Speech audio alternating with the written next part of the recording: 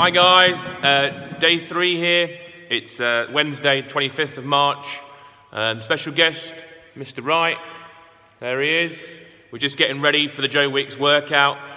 Body's feeling very sore after yesterday, so Mr. Flowers is trying to battle through as we go through there. A little bit of a dilemma this morning, a little bit late out from the house. Poor little Louie uh, had a bit of a confrontation with a dog across the fence, so I had to go out there and rescue him. So he's, he's safe and sound, but uh, a little bit of an adventure this morning, so a bit late to work. Um, great to hear some more good things from yesterday. The weather is outstanding. Great to see some outdoor garden shots from some of you so far. Um, and thank you to all of you who sent me some bits of work already and are ploughing through some things that we've got. It sounds like target time's working really well with your challenges from your SATs folders and bits like that. Um, little recap or little refresher for today. We've got, um, in maths, we're still looking at statistics. Mrs. Bassett's group's moving on to the mean. So you guys about averages and looking like that. There's Mr. Wright again. And then we've got uh, Mrs. Bassett's looking at the mean. Um, and then everybody else is looking at um, real life graphs. So you've got to really look carefully. Please look at the lesson first. Take your time, go through it, because it is new content. So just do take your time um, with the lesson before giving it, uh, the, the, activity a go. We've got our, in our spellings, we've got uh, the k and the g ending. So G-U-E, okay, or QUE ending, things like tongue and plaque and things like that. Some of you and vague have struggled with those in the past, so have a look through there for spelling frame. Uh, Pobble, you've got your sentence challenges uh, today, Wednesday sentence challenges, so again, keep going with those as best you can. Um, and artwork, as we keep going through, keep going for it. Uh, what I've got is a few links to share with you, actually. I'm going to put them at the bottom of this video, so have a look through there. Um, I'm going to try and keep releasing new links each day. Uh, there's lots coming out on social media and bits like that when it comes to uh, what certain things people can offer for free to children and resources and bits like that.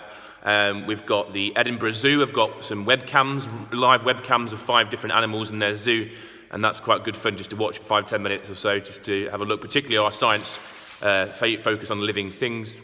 Um, so have a look at the Edinburgh Zoo website that's attached. Uh, we've got the uh, World of David Walliams. He's reading an audiobook every day at 11 a.m. I'll put the link at the bottom as well. Um, we've got the uh, Wildlife with Steve Backshall on Facebook uh, from every day from 9.30 answering some wildlife questions. So just open your eyes to different things uh, that are out there. Keep going. You, you can steer away from the, the uh, planning and all the routine or the timetable if you need to, um, by all means. So keep finding new things, discovering new things. Help me out. Help me out. Point me in the direction of things that you found as well. Um, I'm going to release to you tomorrow a special thing to do with animal um, AR 3D. I'm going to show you that tomorrow, so I'm not going to bombard you with stuff today. So I've got something in the pipeline for tomorrow. Keep coming with me, any ideas you want me to do. Um, so have a fantastic day. A couple of shout outs before we go. Um, keep them coming in. I've not got many. You want to keep reading your names out and, getting, and passing some messages on. Um, shout out for Ellie. Fantastic, by the sounds of it, you've been the absolute star, mum tells me, um, at home. Um, it's big shout out to Ellie, who has mastered the perfect somersault and says hi to everyone. So a big hi from Ellie. Um, and well done for mastering the perfect somersault. And also, I got the beautiful formal letter in terms of an email from Maisie, um, and it was a great message. She has had a, a great day.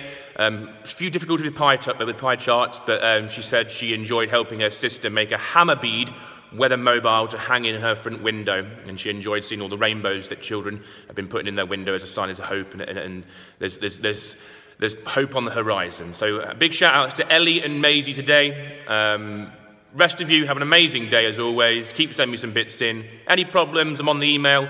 I'm still in school at the moment, so still busy this end looking after the children. So I'll try and get back as quick as I can. But um, have a great day, everyone. It's flowers out. Enjoy, everyone. Bye bye.